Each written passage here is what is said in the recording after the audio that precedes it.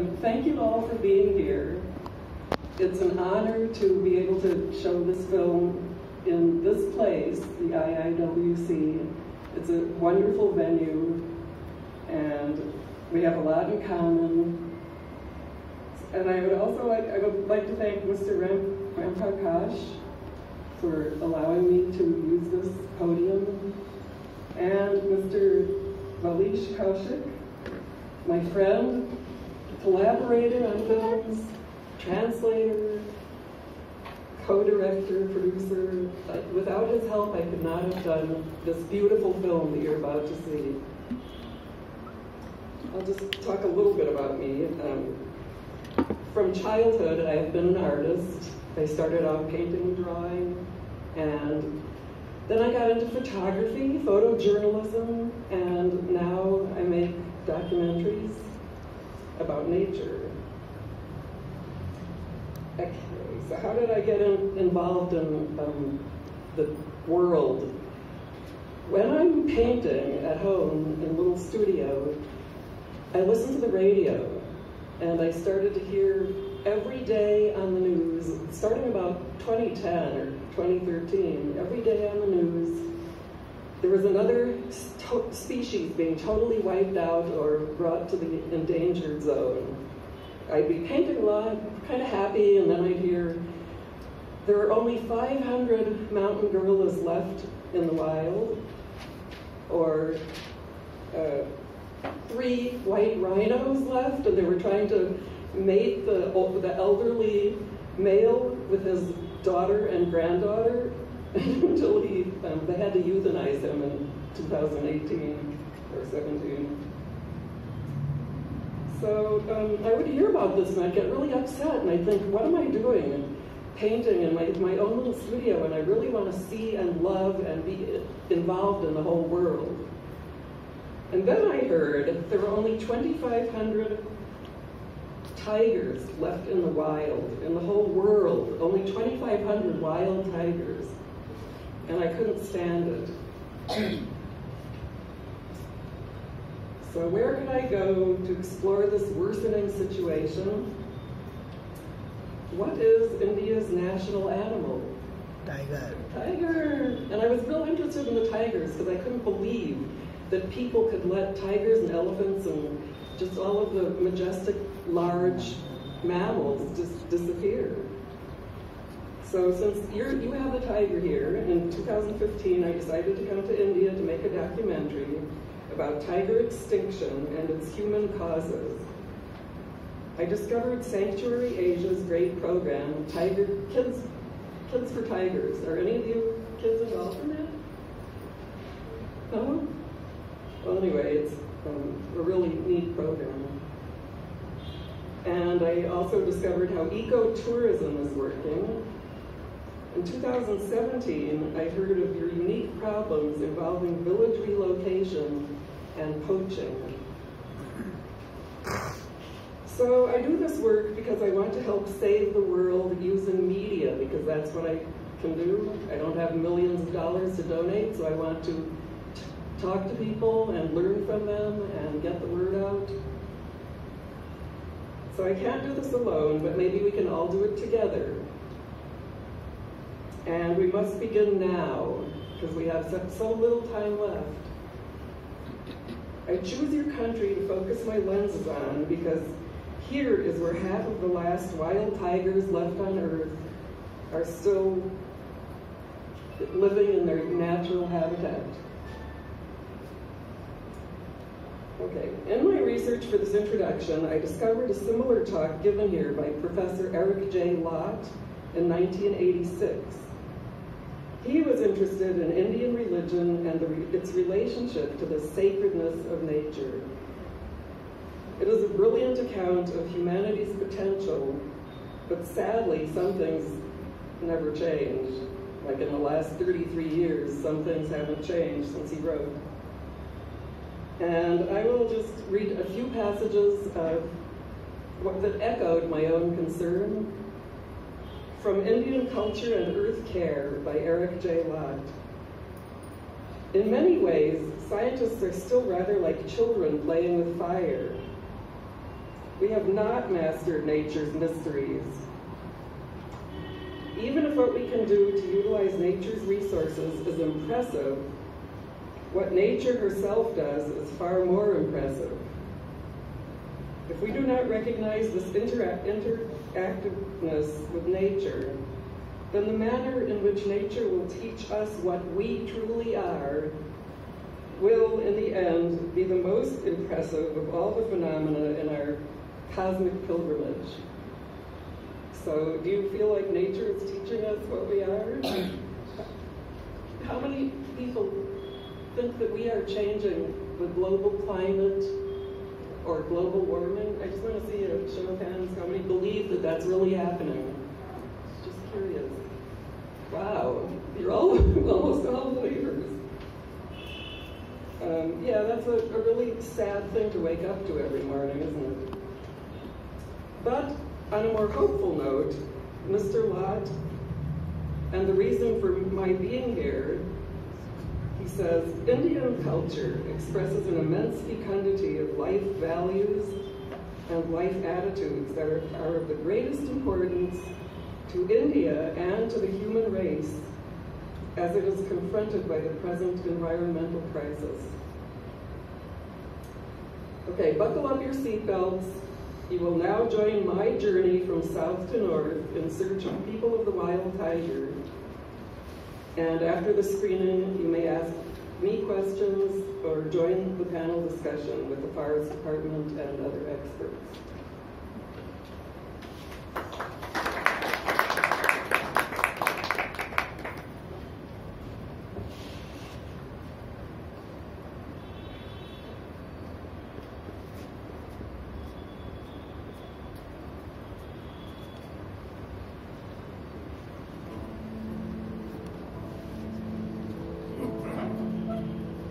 When I was a little girl, my family often went to the zoo.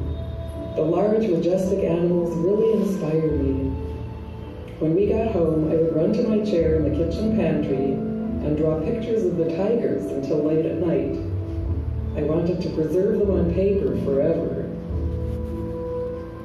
Today, there are thousands of caged tigers in zoos, tiger farms, backyards, and malls but fewer than 3,900 tigers remain in the wild. I felt so heartbroken and alarmed that these remarkable animals are headed for extinction. I decided I had to make a film. In 2015, I packed my cameras and flew to Kerala, southern India, where I began my search for India's wild tigers. I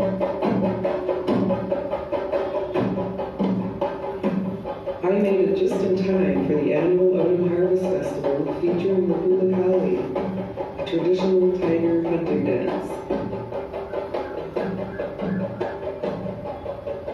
Tomorrow is the Batman's Day.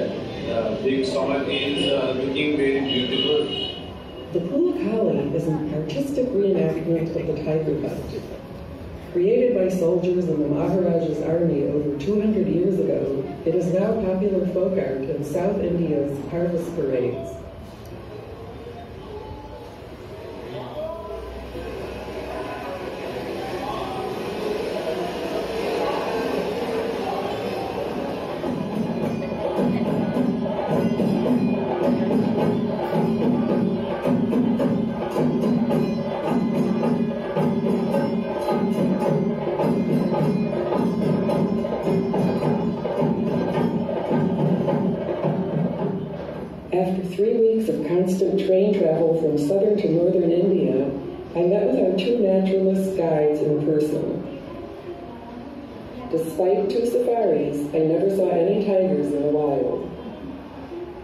I returned home with only a little footage, and I realized I needed to go back.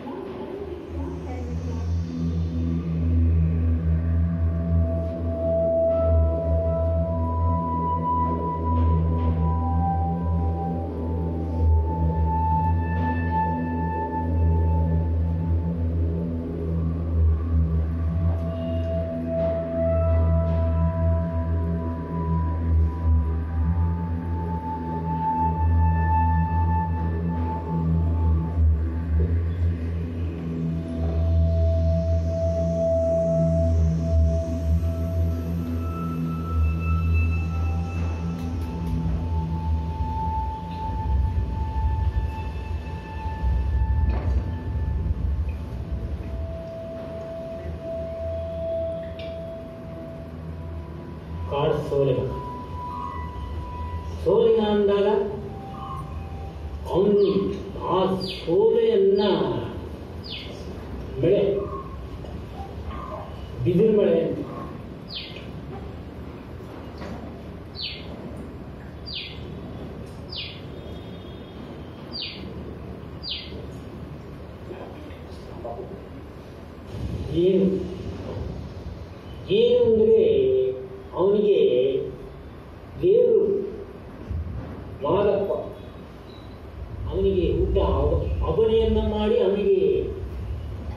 ಮಾಯದಲ್ಲಿ ಅಡುಗೆಯನ್ನು ಮಾಡಿ ಮಾಯದಿಂದ ಅವನಿಗೆ ಊಟವನ್ನು ಕೊಡ್ತಾ.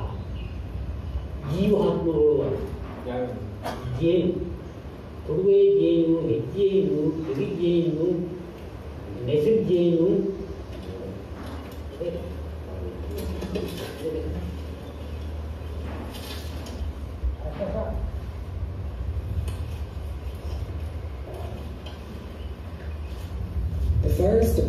employs some Soligas as tiger watchers. They live in anti-poaching camps and patrol the forests every day, keeping tabs on wildlife and human activity. ಹುಲಿ ಸೋಲಿಗರು ಜನರನ್ನು ಅಪರಾಧಿಸುತ್ತೆ ಈ ಕಾಡಿನಲ್ಲಿ ಇರೋಂಥ ಉಡೀಶ ಪ್ರಾಣಿಗಳನ್ನು ಈ ಸೋಲಿಗ ಅನ್ನೋದು ಅವರ ಆಚರಿಸಿಕೊಂಡೆ. ಒಂದೇ ರೀತಿಯಿಂದ ನನ್ನ ಇರ್ತಾರೆ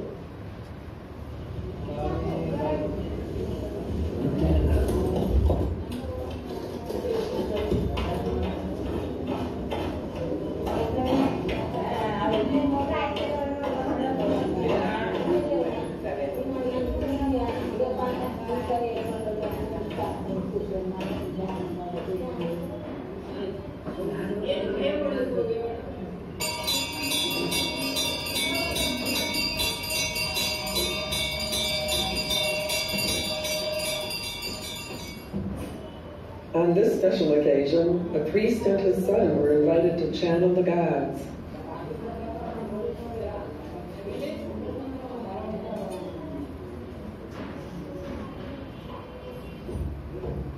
The next day, we asked the priest what tigers mean in the Soliga religion.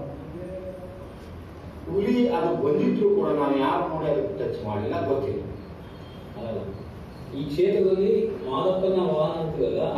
ವಾಸ ಮಾಡತಕ್ಕಂಥ ಯಾಕಂದ್ರೆ ಇಲ್ಲಿ ದೇವಸ್ಥಾನ ಇದೆ ಇಲ್ಲಿ ಮಾದಪ್ಪನ ನೆಲೆ ಇದೆ. ಇಲ್ಲಿ ಸುತ್ತಮುತ್ತಲು ಓಡಾಡಕ್ಕೆ ಯಾವ್ದಾದ್ರು ಅದು ಅದಾಗಿದ್ದು ಅವನಾಗಿದ್ದು ಆ ನಮ್ಮಪ್ಪ ಇಲ್ಲಿ ಒಂದು ಪರ್ಕಾರ್ನಿಗ ಶುದ್ಧ ಮಾಡ್ಕೊಂಡು ಬಳಸ್ಬಿಟ್ಟು ಹೋಗ್ಬೇಕು ಅಂತೆಲ್ಲ ಎಲ್ಲ ಇದ್ದರು ಬರೋದು ಅವನ ಮಾಯ ಯಾವ ಶನಿಗಳು ಬರ್ತಾನೋ ಯಾವ ಶನಿಗಳು ಹೋಗ್ತಾನೋ ಅದು ಗೊತ್ತಿಲ್ಲ.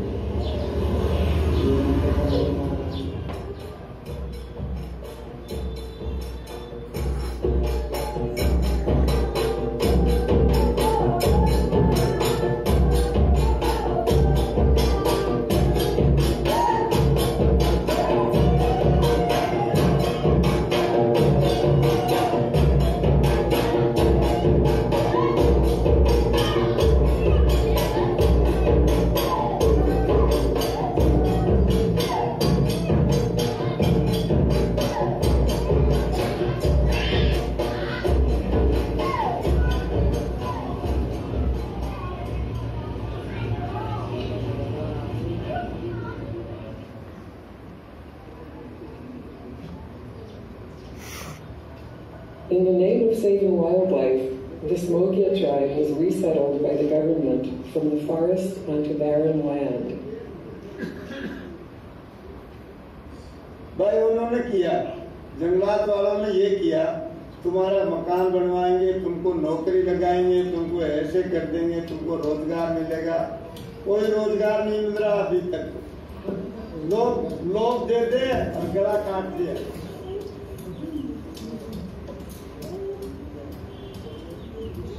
और जो लोग बाग जितने भी खा रहे हैं, उनका नतीजा जब हम वापस बंदूक उठा लेंगे ना जल्दी वापस आए और फिर घटना होगी।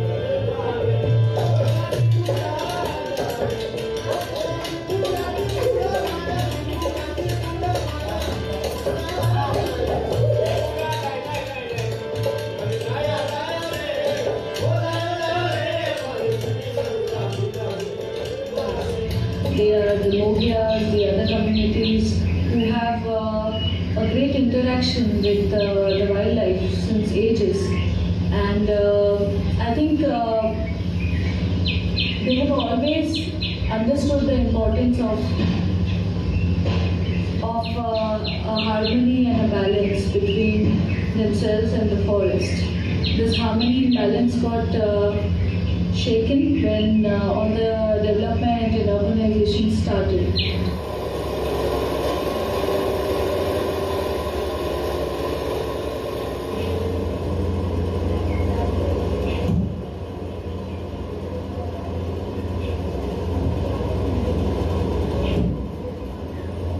The Mogya community was uh, always living here around the forest.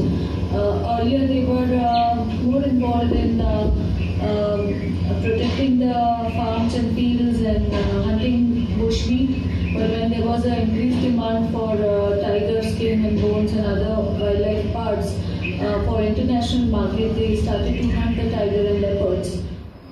Now, current projects of Tiger Watch are amazing. They have uh, a program called the Wildlife Village Volunteers, and uh, they are training them how to use a camera trap. So uh, there have been days where uh, poachers have been caught on the camera trap. Still searching for tigers, we visit Ranthambore Fort and Tiger Park, home of Machli, legendary tiger queen, who died in 2016.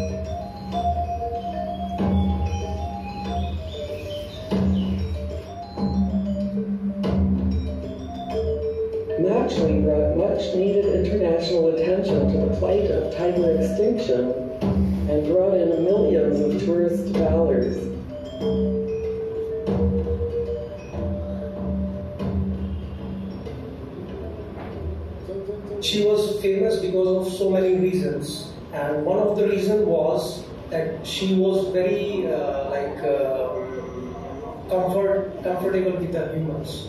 She used to stalk when she used to like uh, take advantage of the uh, tourist gypsies in order to stalk, in order to hunting, and she would put her cubs near the gypsy.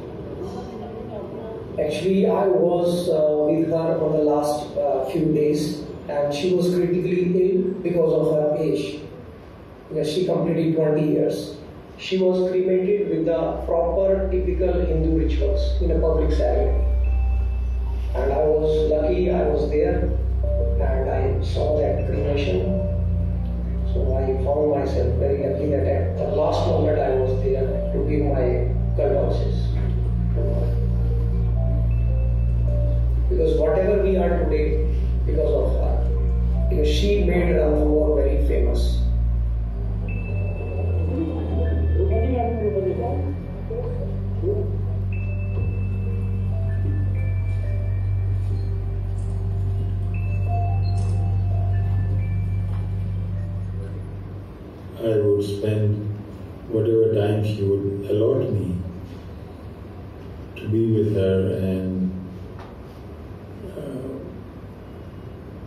A thing called silent conversation and I am sure uh, we participated in uh, this form of silent conversation on many occasions and I found it very uh, soothing, uh, completely divine. The period of 2004 was a very bad period for Ranthambore Tiger Reserve. Uh, in the sense that there were a lot of poaching and many tigers had died. And she, at that time, uh, rose to the occasion as to speak, so to speak. And she produced uh, cubs who went on to give more cubs when they became adult. And so far, in my uh, calculation and records, Ranthambore Tiger Reserve has about more than 55 tigers belonging directly to Machli and her uh, lineage. In, in true sense, she, she was a majestic uh, queen of the lakes because her territory had uh, three lakes which constituted a very large area. So I would say she was a Karma and a Yogi combined in one soul. Absolutely divine. I miss her